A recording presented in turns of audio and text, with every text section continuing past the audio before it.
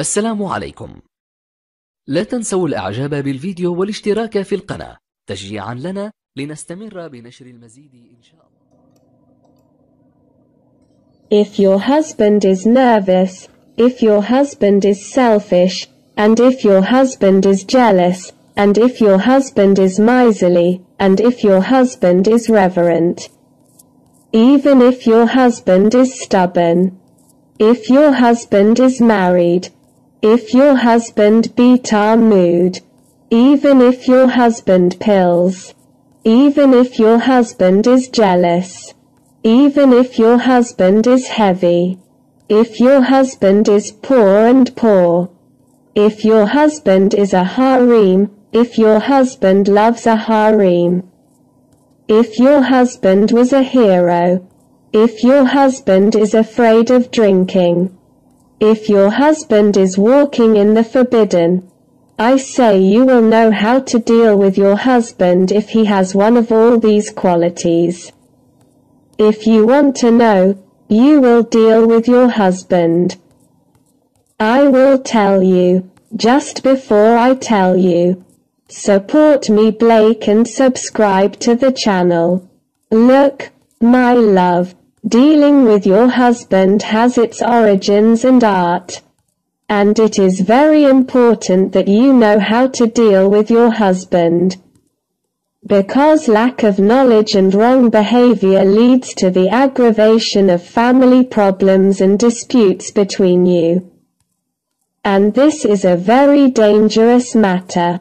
It is not possible to deal with all husbands in the same way. Because each husband has his personality, nature, principle, customs and traditions. It must be dealt with in a different way. In what follows, I will explain to you how to deal with your husband. If your husband is of the calm and sedate type and has a cold temperament, this may sometimes make you feel uncomfortable and reassured. Not a quiet person. He is a distinguished and positive character where his decisions are correct. Because it is after deep thinking and also faces problems in a rational and sober manner. Far from rushing, there are some tips for dealing with your husband if he was calm. Give your husband more affection and love that he needs as a first step. This helps him to start talking as a first step interact with her, or he has some problems related to his work, which should not be discussed at home. He thinks it takes a long time to rest. He relaxes his mind from thinking about the problem. And your consideration that the reason for his calmness may be due to thinking about your future and the future of your children. It is preferable to listen to you to know everything you dream about. He is working to achieve it for you, and here you should try to choose the appropriate topics to talk to him about. And work on his participation in solving it, and if your husband is a nervous type, you should be careful, because if you talk to him in any talk, he will anger and make him glow. This turns the world upside down. And it's a problem for you.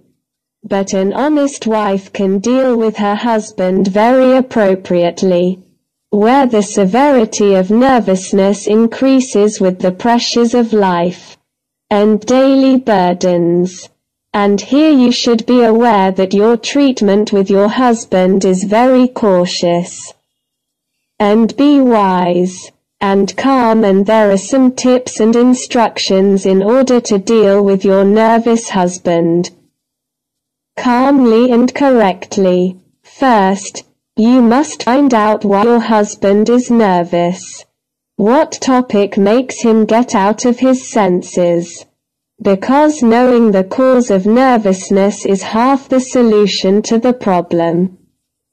You must be patient and wise. to absorb your husband's nervousness. And you must show him that life is not without problems. To tell her what is the reason for his anger.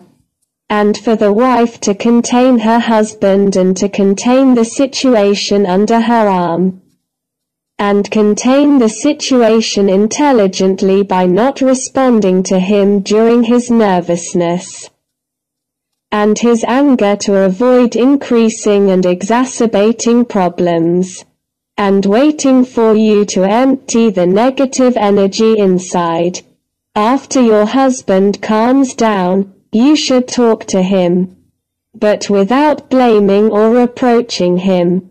Then the dialogue between you is calm, sedate and aflani.